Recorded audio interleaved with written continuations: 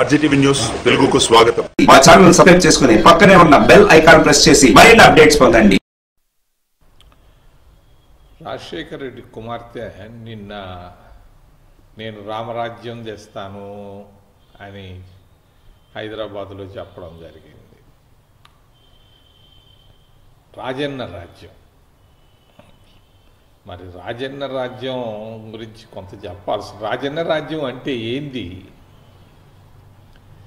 Congress party Rajasekhar రెడ్డికి రెండు రెండు సార్లు పిసిసి పదవినిచ్చింది. రాజశేఖర్ రెడ్డికి రెండు సార్లు ముఖ్యమంత్రి పదవి ఇచ్చింది మరి ఇన్నిసార్లు ఇన్ని పదవులు ఇస్తే రాజశేఖర్ రెడ్డి ఏం చేశాడు?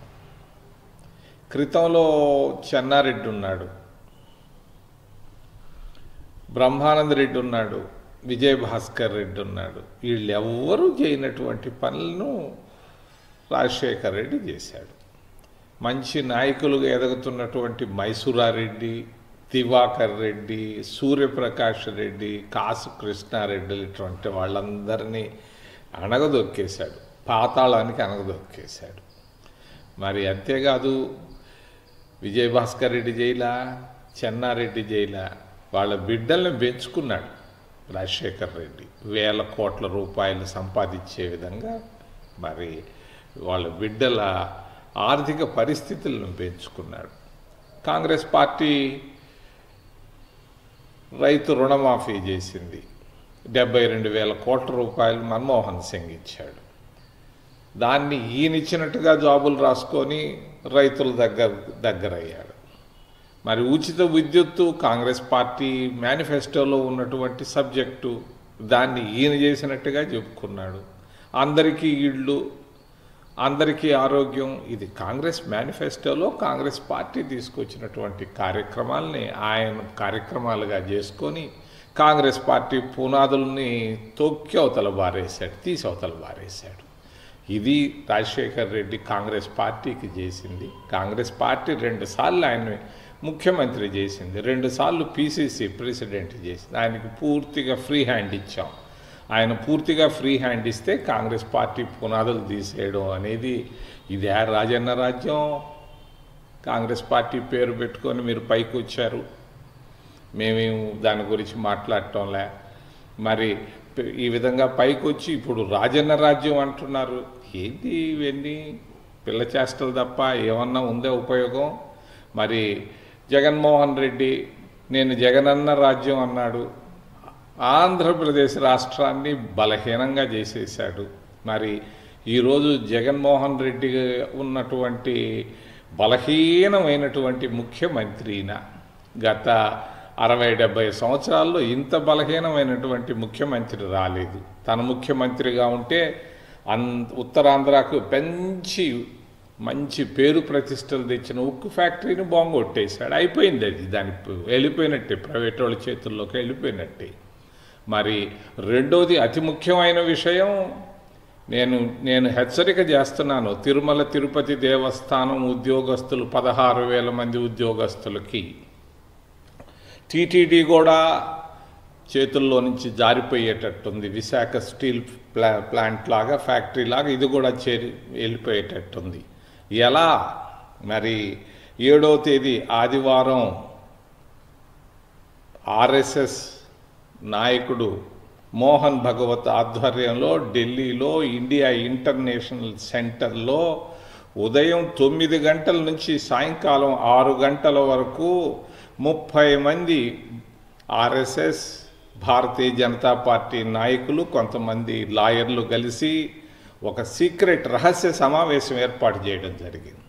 ఆ రహస్య సమావేశానికి అజెండా చేకూర్చింది ఎవరంటే మరి హిందూ ధర్మ ఆచార్య సభ హిందూ ధర్మ ఆచార్య సభ మరి తిరుమల తిరుపతి దేవస్థానానికి సంబంధించినటువంటి ఆస్తుల వివరాలు బ్యాంకు డిపాజిట్లు ఉన్నటువంటి సొమ్ము బంగారు ఈ అన్ని విషయాలపైన లక్షల లక్షల కోట్ల రూపాయల ఆస్తులపైన వాళ్ళు ఒక నివేదిక ఇవ్వడం జరిగింది.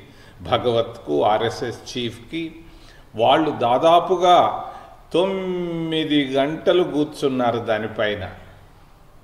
మూడు ఒకసారి మధ్యాహ్నం భోంచేశారు రెండుసార్లు టీ తాగారు తప్ప ఏడు ఎనిమిది గంటల సేపు చర్చ చేయడం జరిగింది. ఏ విధంగా తిరుమల తిరుపతి దేవస్థానాన్ని పంతొమ్మిది వందల ముప్పై రెండుకు ముందున్నటువంటి విధంగా ట్రస్ట్ చేతుల్లో నుంచి ఏ విధంగా మరి వాళ్ళ చేతుల్లోకి తీసుకోవాలి భారతీయ జనతా పార్టీ తర్వాత ఆర్ఎస్ఎస్ వాళ్ళకి సంబంధించిన నాయకుల చేతుల్లోకి ఎలా తీసుకోవాలన్న విషయాన్ని చాలా కూలంకషంగా మాట్లాడడం జరిగింది.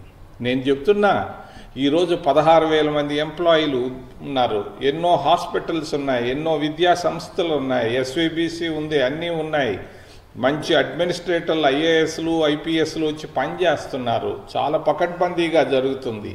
ఈ ఈ అడ్మినిస్ట్రే పరిపాలనను వాళ్ళు తీసుకోవాలని కుట్రలు బంతున్నారు ఢిల్లీలో. నాకు ఆయన చెప్పాడు చివరిన ఆరు గంటలప్పుడు హిందీలో చెప్పాడు మోహన్ భగవత్ గారు. ఏమని చెప్పారు? నేను ఖచ్చితంగా తిరుమల తిరుపతి దేవస్థానాన్ని ఇప్పుడున్నటువంటి యాజమాన్యం చేతిలో కాకుండా మీ చేతుల్లో పెట్టేదానికి నేను చేస్తాను అని చెప్పి ఆయన మాట కూడా చెప్పడం జరిగింది. దానికి సరైనటువంటి సూచనలు సలహాలతో రమ్మని భారతీయ జనతా పార్టీ అందరికీ చెప్పడం జరిగింది. ఇది చాలా చాలా ప్రమాదకరమైనటువంటి విషయం తిరుపతికి. అక్కడ విశాఖపట్నంలో ప్రమాదం జరిగిపోయింది అది. ఈరోజు తిరుపతికి కూడా ఇటువంటి ప్రమాదం రాకపోతు వచ్చే అవకాశాలు ఎక్కువగా కనపడుతున్నాయి రాబోయే రోజుల్లో. ఆంధ్రప్రదేశ్ రాష్ట్రానికి ఏముంది? తిరుమల తిరుపతి దేవస్థానం విశాఖపట్నం స్టీల్ ప్లాంట్. మధ్యలో ఏదో ఒక ఓడరేవు ఒక విమానాశ్రయం తప్ప ఏముంది మనకు మిగిలి? నేను హెచ్చరిక చేస్తున్నా ఉద్యోగస్తులందరూ తయారుగా ఉండండి. జాగ్రత్త పడండి ఇప్పటి నుంచే. మరి విశాఖపట్నం స్టీల్ ప్లాంట్లో రెండు సంవత్సరాల నాడు జరిగితే ఇప్పుడు కళ్ళు తెరిచారు వాళ్ళు. రేపు రెండు సంవత్సరాల తర్వాత జరగబోయేటువంటి దాన్ని నేను ఇప్పుడే హెచ్చరిక చేస్తున్నా. తిరుమల తిరుపతి దేవస్థానం ఉద్యోగస్తులకి పింఛన్లు తీసుకుంటున్నటువంటి ఉద్యోగస్తులందరికీ నేను హెచ్చరిక చేస్తున్నా. తి- ఈ తిరుపతి దేవస్థానంతో ఉన్నటువంటి ఇవన్నీ మన చేతుల్లో నుంచి పక్కకు వెళ్ళే అవకాశం ఉంది. పంతొమ్మిది వందల ముప్పై రెండు మద్రాసు రాష్ట్రంలో యాక్ట్ తయారు చేశారు. ట్రస్ట్ కింద ఒక ఐదుగురితో వచ్చింది. ఐదు పోయి అది పదకొండో ఏదో ఏడు అయింది ఏడు పోయి పదకొండు అయింది అరవై తొమ్మిదిలో బ్రహ్మానంద రెడ్డి కూడా హిందూ టెంపుల్ యాక్ట్ తీసుకొని వచ్చాడు. మరి ఆ యాక్ట్లన్నిటి చేతుల్లో నుంచి బలహీనమైనటువంటి నాయకత్వం కలిగినటువంటి ముఖ్యమంత్రి జగన్మోహన్ రెడ్డి చేతుల్లో నుంచి ఇది వెళ్ళేదానికి కుట్రలు తయారైపోయినాయి. మామూలుగా పన్బాకంలో చేశారు దాని గురించి నేను పట్టించుకోలేదు. కానీ ఆర్ఎస్ఎస్ చీఫ్ మోహన్ భగవత్ ఆధ్వర్యంలో ఎనిమిది గంటల పైన కూర్చొని చర్చ చేశారు కాబట్టే నేను హెచ్చరిక చేస్తున్నాను. అక్కడ ఉన్నటువంటి వాళ్ళు ఎవరు ఏం మాట్లాడారన్న వివరాలన్నీ నాకు తెలుసు. ఇప్పటి నుంచే జాగ్రత్త పడాలి. భారతీయ జనతా పార్టీ ఆర్ఎస్ఎస్ చర్యలపైన మరి దీనికి వెనకాల కొంతమంది మఠాధిపతులు కూడా ఉన్నట్టుగా నాకు సూచనప్రాయంగా తెలుస్తూ ఉంది. కాబట్టి నేను హెచ్చరిక చేస్తూ జగన్మోహన్ రెడ్డి జగనన్న పాలన అన్నాడు. ఏంది ఇక్కడ పాలన? ఒక్క అధికారి కనపడ్డు ఒక్క అధికారి డ్యూటీకి రాడు ఒక్క మంత్రి కుర్చీలో కూర్చోడు. ఈరోజు విపరీతమైన అవినీతి ఆకాశం తెత్తుకు ఎదిగిపోయింది. ప్రతి మైండ్లో డబ్బులు తీస్తున్నారు ప్రతి నెల తీస్తున్నారు. మరి ఇసుకలో డబ్బులు తీస్తున్నారు మద్యంలో డబ్బులు తీస్తున్నారు వందల కోట్ల రూపాయలు నెలకి సంపాదిస్తున్నారు. ఇది అవినీతి అవినీతి ఎక్కువైపోయింది. ఇది వెంటనే అవినీతి పరిపాలనలో నుంచి జగన్మోహన్ రెడ్డి. ఇప్పటికీ నీకున్న ఆస్తి చాలు కదా ఇంకా ఎందుకు ఈ దౌర్భాగ్యం దరిద్రం? ఇది ఆ రాజన్న పాలన అంటే. ఆ అమ్మ చెప్తా ఉంటే నాకు బిడ్డ చెప్తా ఉంటే రాజన్న పాలన ఇది రాజన్న పాలన. ఈ రాజన్న పాలన నేను ఖండిస్తున్నా కాంగ్రెస్ పార్టీ పునాదులు తీసేశాడు రాజన్న. మేము ఇచ్చాము ఆయన చేతికి అధికారాన్ని ఇస్తే పునాదులు తీసేసి పక్కకి వెళ్ళిపోయాడు బిడ్డలు ఈ విధంగా చేస్తున్నారు. నేను నిశ్చితంగా ఖండిస్తున్నాను.